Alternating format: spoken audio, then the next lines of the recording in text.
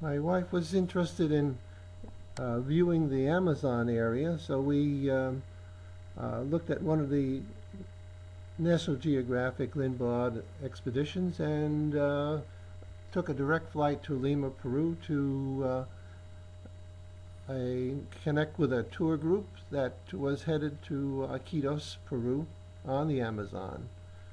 And we uh, then were able to pick up a uh, bus to take us to the landing for getting on board the craft that we needed.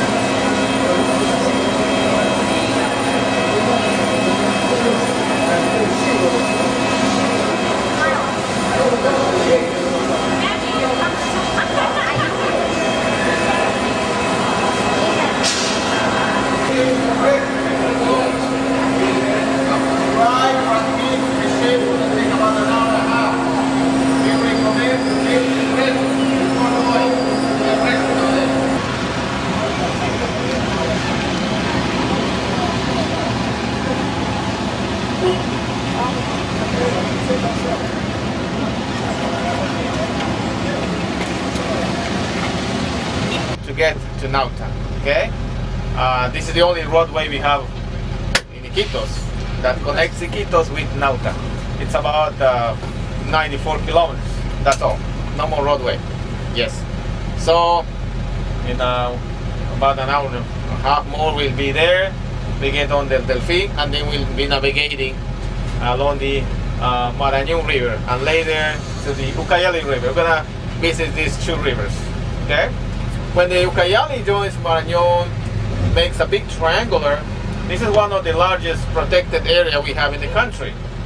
Okay, this is the uh, reserve called Pacaya Samiria National Reserve. So we're gonna visit this place during this trip. Okay. Well, and uh, in here we have some water. Uh, we, and a lot of this land we're gonna cover in the streets, these lower areas. It's already flooded. It's already covered water. Villages and you know. These the motorcycles. We have many of these motorcycles here. You can see this. This three-wheel motorcycle. We have. We call these motor cars or, or motor taxis.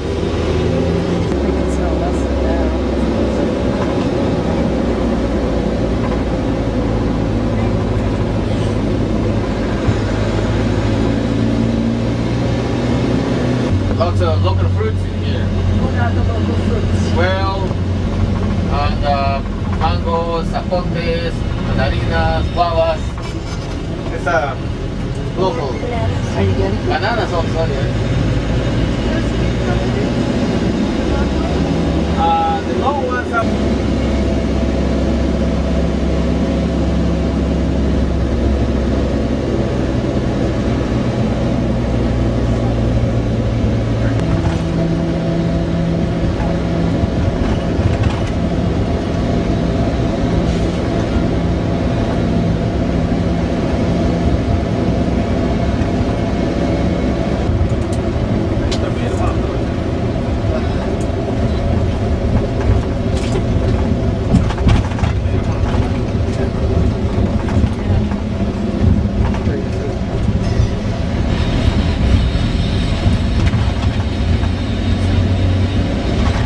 No, this one on the side.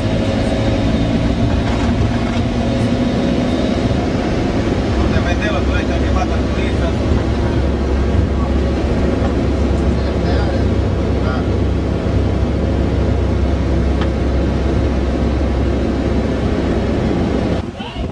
A little windy today.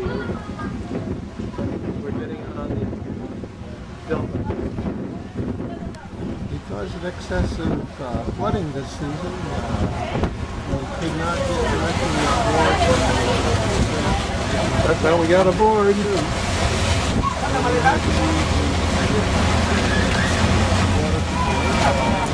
Also to our luggage.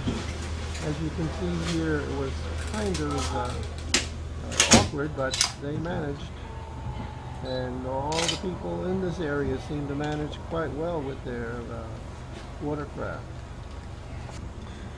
Here comes our luggage. Oh,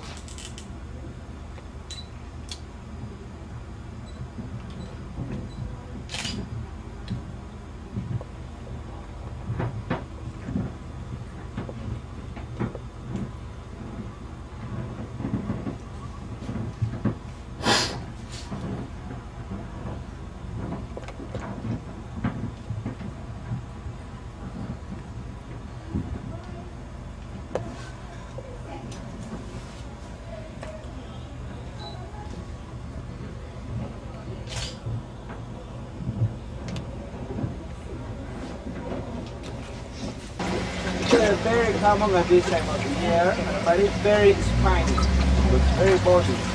Yeah. Yeah, we got. Lots of them. Okay, we gotta go. Always searching for wildlife, going for a tree, and all this stuff, alright? Thank you very much.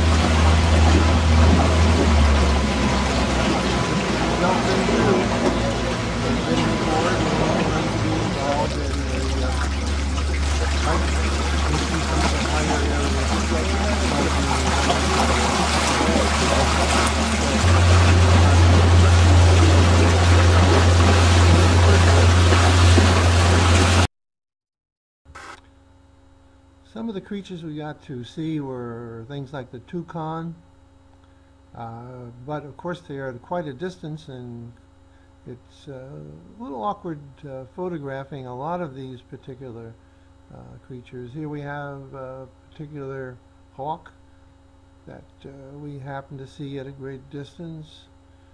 And uh, of course there were a lot of these iguanas and they're nicely colored as far as the head is concerned.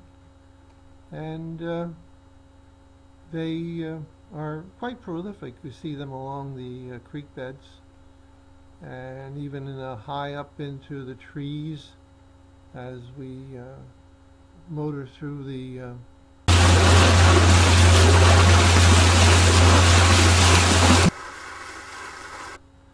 There are even some of these what they call owl monkeys, and they are very hard to photograph also.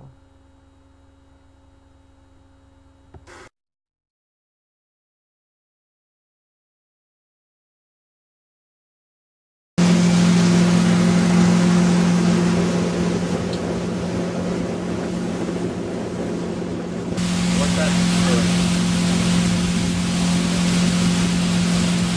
Like that? Why they are short? If me, is because they are waiting always. yeah. yeah, but uh, most of them they used to do like that long time ago. You wanna something? My grandparents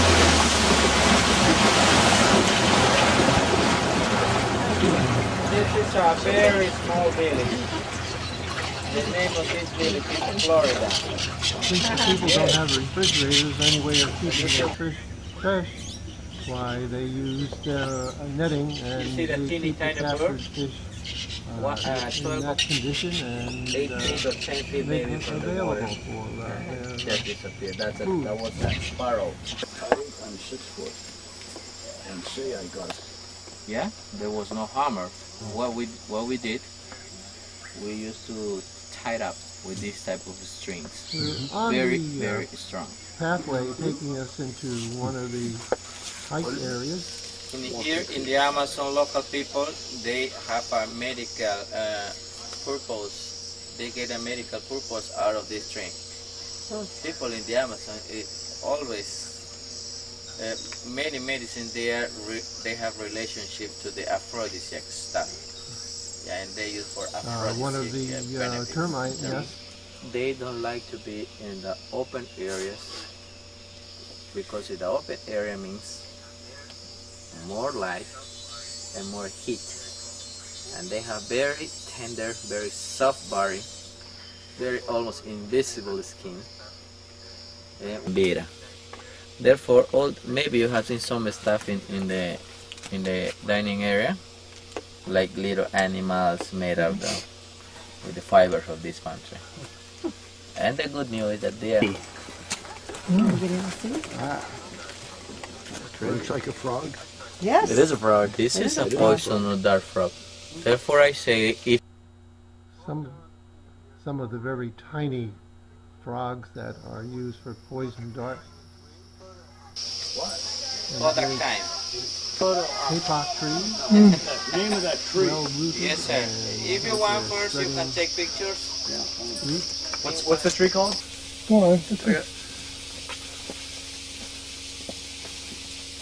This is our first experience to uh, have the higher temperatures and high humidity together, and it was kind of an exhausting uh, uh, experience. The mon- monk saki monkeys were in one area. They were kind of unique.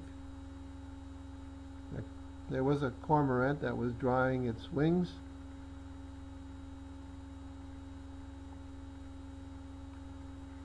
Uh, a few more of the um, monk sakis. They were quite far away, and it was difficult again to uh, photograph them. We encountered another group of monkeys, monk sakis. They are quite colorful.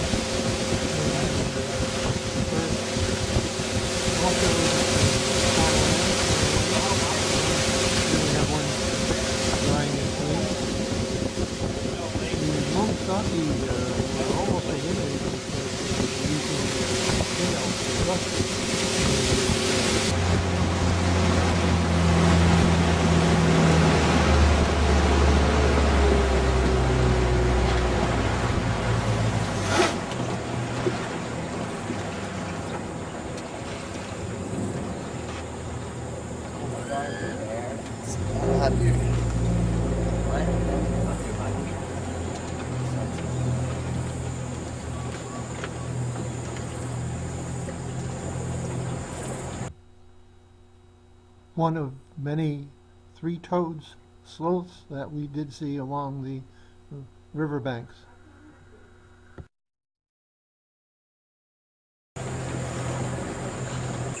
Flycatchers are very common along the rivers. Most of them are yellow bellies. The messing here. black one? Oh, no, that's Oh, right here termite. in That's this a blue one? That's what I thought, like this one. Bird nest or a pendula. They are related to orioles. Orioles? Yeah, the oriole family. Related to orioles. Yeah, I remember the gold was. Yeah.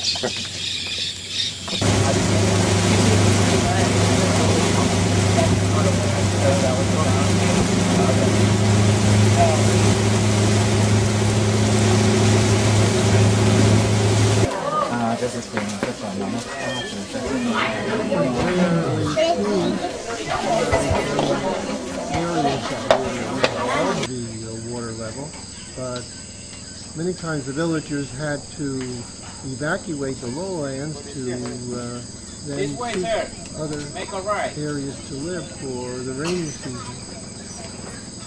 Here we're coming into uh, our ship again, which was anchored on the edge of the uh, Ucayali River, which is one of the tributaries for the Amazon. So we spent most of our time uh, adjacent to a reserve